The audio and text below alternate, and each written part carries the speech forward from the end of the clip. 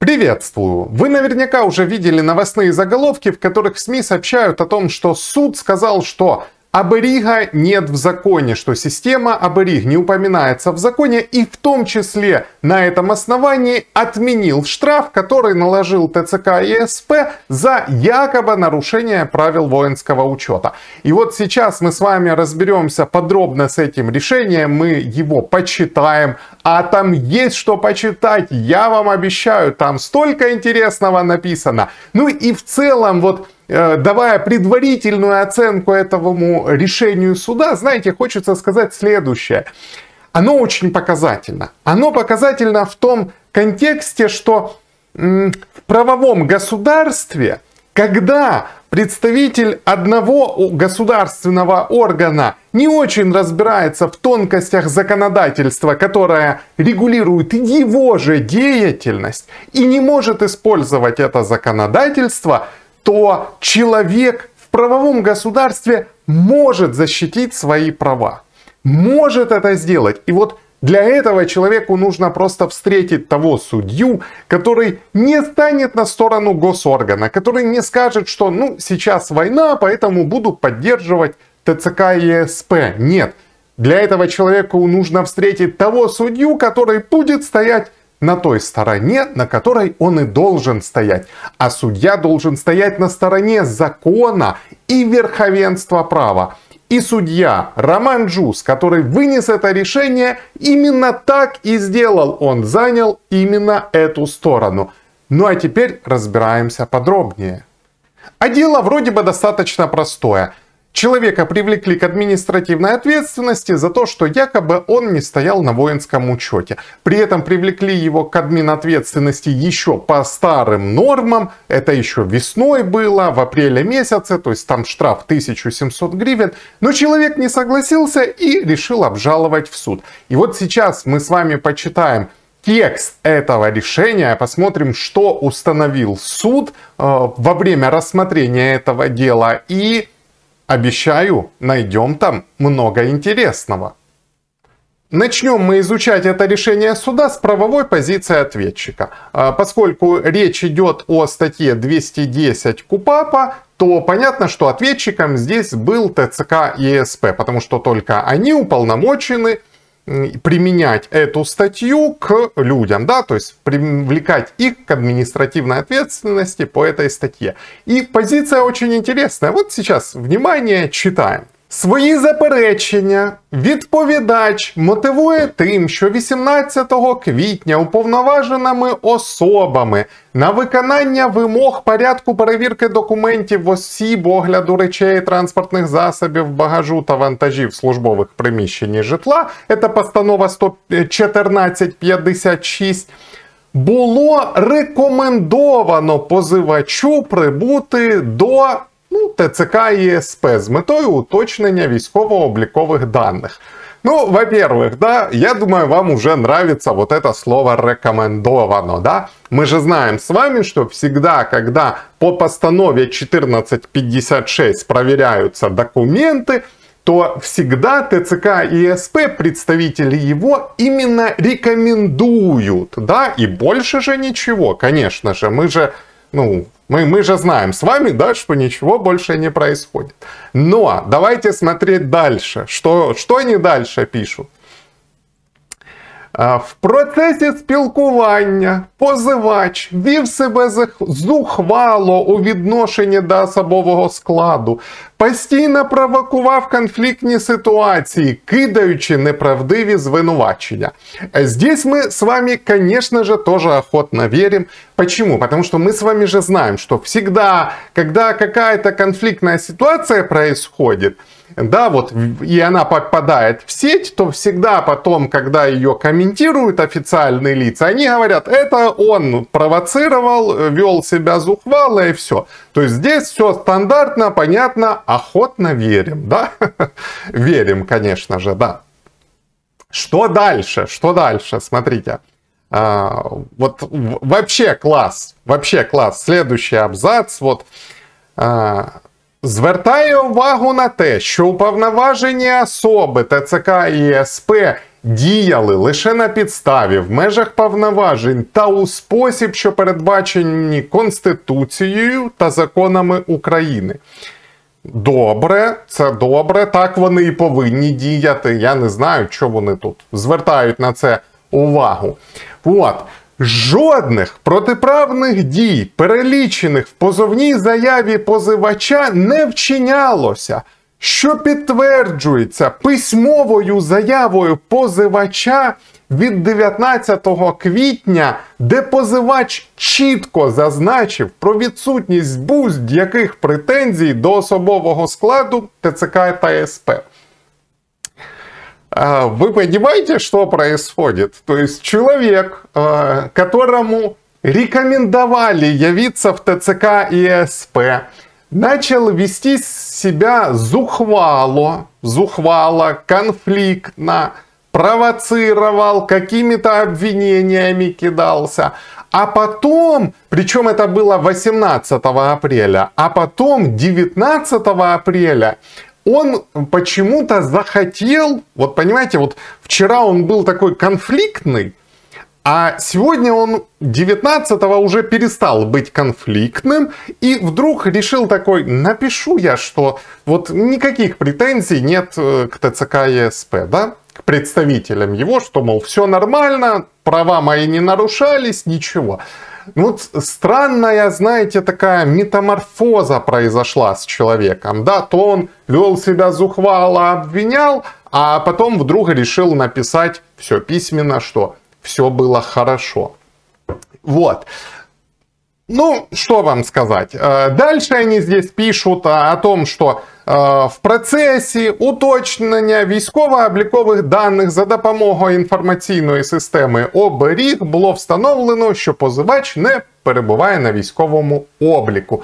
И, собственно говоря, на основании того, что его не нашли в оберегу, они его и решили оштрафовать. А теперь Самое интересное, да, что же сказал по этому поводу суд? Как суд все это оценил?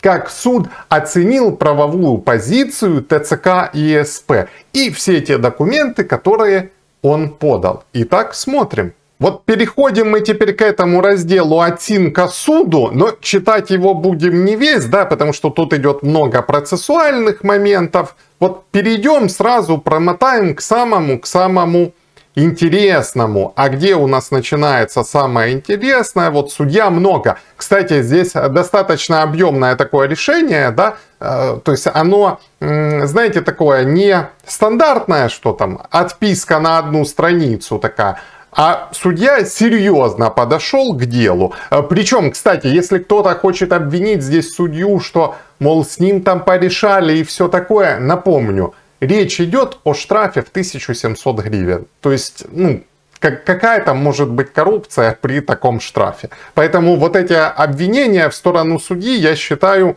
нужно э, вообще отбросить. И вот что, что сказал э, суд. Ну, во-первых, належних та допустимих доказів, які беззаперечно підтверджували факт неперебування позивача на військовому обліку станом на дату складення оскаржуваної е, постанови, відповідачем до суду не надано. Тобто доказів не надали. Ну, вот просто не надали доказів. Это к вопросу о том, какого уровня профессионалы там находятся. Да? Вот суд дает оценку Э, э, этим професіоналам. Дальше. Посилання відповідача на те, що факт неперебування позивача на військовому обліку було встановлено за допомогою інформаційної системи оберіг, теж не підтверджені належними та допустимими доказами. А, клас. Далі, смотрите, и идет, знаете, по нарастающей все. Суд критично оцінює долучений відповідачем витяг системи оберіг, в якому зазначено, що особа один взятий на облік, оскільки із такого витягу неможливо встановити, звідки саме отримані зазначені в ньому дані, чи дійсно він отриманий з системи оберіг. Ну, вы понимаете? То есть, я честно, я ухахатываюсь с этого, потому что, ну, уровень профессионализма там просто на лицо, да, люди не могут оформить материалы просто простого, примитивного на самом деле админ дела. Но идет дальше, по нарастающей. Більше того, Відповідачем не надано суду жодних даних щодо порядку функціонування системи оберіг. Інформації про те, які відомості містить чи повинна містити така система, хто саме наповнює таку систему. А почему суд об этом говорит? Потому что мы ж помним, представители государства должны действовать строго в рамках закона. Об этом говорит статья 19 Конституции Украины. И, соответственно, все действия, и в том числе использование системы Аберих, оно должно быть урегулировано. И суд говорит, покажите мне, чем оно урегулировано. Они предоставили, не показали суду это. Но идем дальше. Суд звертає увагу на те, що відповідно до закону України про єдиний державний реєстр призовників військовозобов'язаних та резервістів в Україні функціонує єдиний державний реєстр призовників військовозобов'язаних та резервістів, як інформаційна комунікаційна система призначена для збирання, зберігання, обробки та використання даних про призовників військовозобов'язаних та резервістів, створена для забезпечення військового обліку громадян України. Посилань на інформаційну систему оберіг вказаний закон не містить. Вот она, вишенка на торте. Вот она квинтэссенция всего этого действа. Посилань на інформаційну систему оберіг вказаний закон не містить.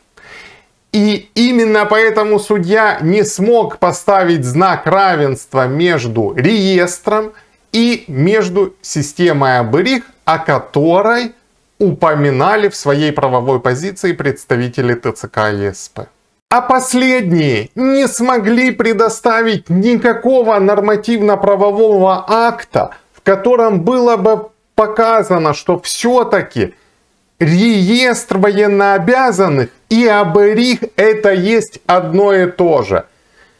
Не смогли? Что сделал суд? Суд открыл Конституцию Украины и сказал, что в соответствии с частью 3 статьи 62 Конституции Украины Усі сумніви щодо доведеності вини особи тлумачаться на її користь.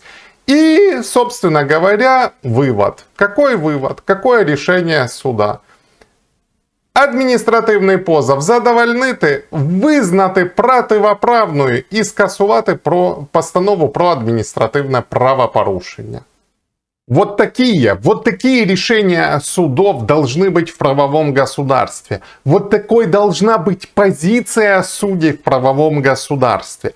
И если бы мы всегда получали именно такую позицию, чтобы суды всегда использовали нормы закона, нормы верховенства права, то мы бы пришли к тому, что права человека в Украине были бы максимально защищены.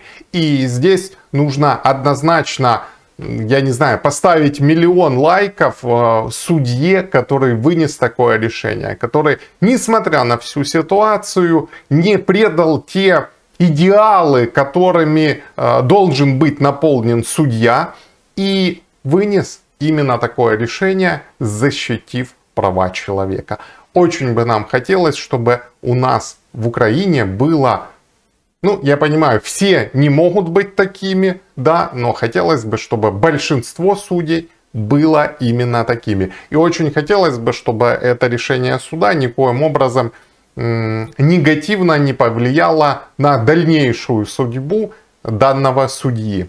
Ссылочку на это решение я оставлю в описании к видео, чтобы вы могли ознакомиться с э, полнотекстовой версией его, чтобы вы могли использовать его э, если вы окажетесь в схожей ситуации, да, потому что там сделаны правильные выводы, там э, хороший анализ законодательства в этом суде. И поэтому, если вдруг вы решите самостоятельно оспаривать какие-то постановления ТЦК и СП, вы можете брать оттуда цитаты, да, то есть это решение может быть однозначно вам полезным в вашей жизни. Но очень хотелось, чтобы вам оно никогда не пригодилось. Все, друзья, на этом у меня все. Если вы считаете, что данное видео было полезным, поставьте ему лайк, подпишитесь на мой YouTube канал, также приглашаю вас в свой Telegram канал. Ссылочка на него есть также в описании к данному ролику. И традиционно пожелаю вам удачи, благополучия и, конечно же, мира. Пока-пока.